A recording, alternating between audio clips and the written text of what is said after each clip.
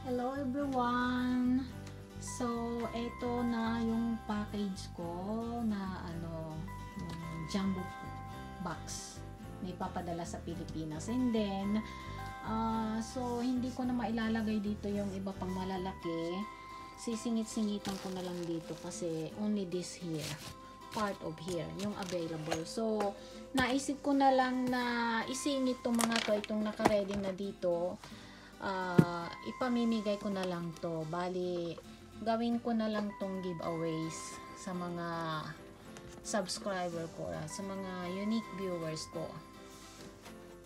So, ito, itong apat na to. Kasi yan na lang ang pwede kong isingit dito eh. Hindi na kasi magkakasya yung mga ano malalaki. So, finally na tong box ko. So, let's see. Ito na siya.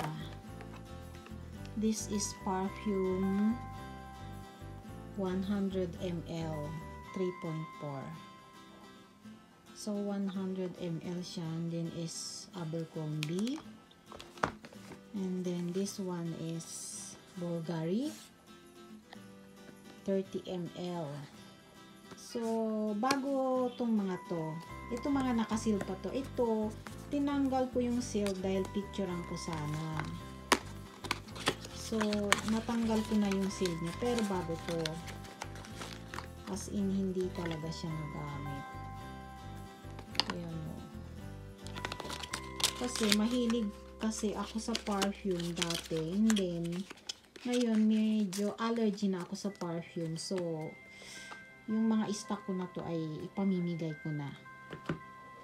And then this one naman is ano, Abercrombie na ano, cologne. 50 ml siya. So, nakasealed talaga yan. Bagong-bago talaga. And then, this one is bago din to. Natanggal ko nga din lang yung plastic niya. So, ang style nito is ganyan. Meron siyang ano, meron siyang card pocket. Tatlo.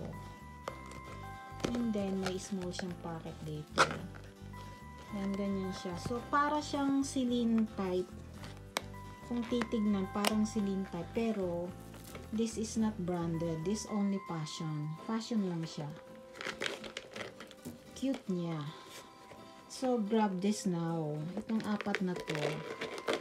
So, comment below na lang po kayo kung ano, interesado kayo na mag-grab ito. Itong mga to. Kasi, ah, schedule ko na yung package ko this week. Itong Sabado na to, ipipick up na yung package ko, and lalagay ko na to. So, if someone is interested for these giveaways, just comment below to my video na lang. And then, add me na lang sa Facebook na account ko. Ilalagay ko later sa ano, sa description. Maglalagay ako ng link para ma-add nyo ako sa Facebook. Dahil doon kasi ako mag-update sa Facebook about this. Thank you.